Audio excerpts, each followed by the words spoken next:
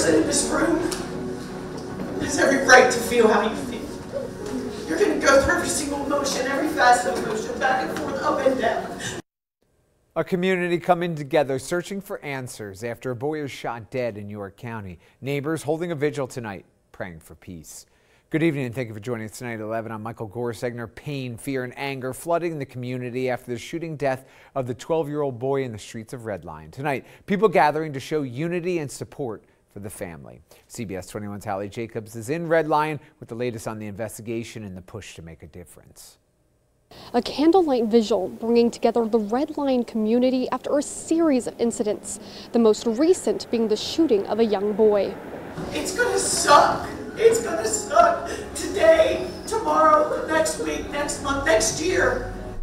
Right now, neighbors in the Red Lion community are on edge with more questions than answers. The vigil offering them a chance to be at peace after a young boy was gunned down while running down the street.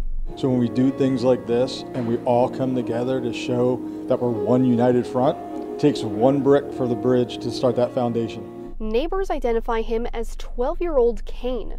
Many neighbors also refusing to speak about the incident and multiple stories as to what really happened last night. Obviously my first concern was, was it a suicide? You know, and then as we started learning other incidences, then I was, what about the other kids that were there? What about the families? How's this going to impact the community? And we need to do something. Pictures showing an active scene in the 10th block of First Avenue in Red Lion. Police arriving to the scene a little before 9 p.m. Saturday night. They say they found the young boy dead due to an apparent gunshot wound. You know, friends that, you know, witnessed the incident that happened yesterday, you know, the, the people involved, it can impact them on a number of different levels. Those situations can spiral into other situations, and that's what we want to try to prevent. Now, the police say that there is no danger to the public, and they will continue investigating. In Red Lion, Hallie Jacobs, CBS 21 News.